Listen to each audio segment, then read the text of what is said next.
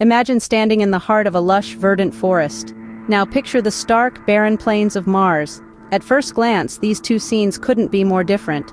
But delve a bit deeper, and you'll find a fascinating connection. These vastly different landscapes, one teeming with life and the other seemingly devoid of it, are both integral to the quest for life beyond our planet. Earth is home to some of the most resilient organisms known to science. These creatures, known as extremophiles, thrive in conditions once thought uninhabitable, deep-sea hydrothermal vents, acidic hot springs, the icy realms of Antarctica. These harsh environments are home to life in its most tenacious forms. The existence of such organisms provides tantalizing clues about the types of life forms that might exist on other planets or moons. Mars, our planetary neighbor, has long been a subject of interest in the quest for extraterrestrial life. Evidence from various Mars exploration missions suggests that the red planet once had conditions suitable for life, including water flow and organic molecules. By studying deserts and arid regions on Earth, scientists gain valuable insights into Martian geology and potential habitats. The search for life extends beyond our solar system to the vast cosmic ocean, where exoplanets orbit distant stars. These planets, found in the habitable zone, may have conditions suitable for life as we understand it.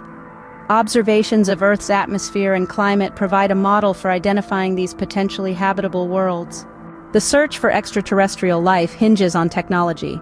Rovers exploring Mars, telescopes peering into distant galaxies, and advanced computational models all play a part in this cosmic quest. This interdisciplinary approach combines biology, geology, astronomy, and environmental science, painting a comprehensive picture of life's potential beyond our world. The diversity and resilience of life on Earth suggest a tantalizing possibility. If life can flourish in our planet's most extreme environments, why not elsewhere in the universe? To better understand our place in the cosmos, it's crucial to protect Earth's ecosystems. In conclusion, the quest to explore the vastness of space begins with understanding the wonders of our own planet. So next time you find yourself marveling at the stars or exploring a forest, remember that these experiences are part of a much larger journey. A journey that seeks to answer one of humanity's most profound questions.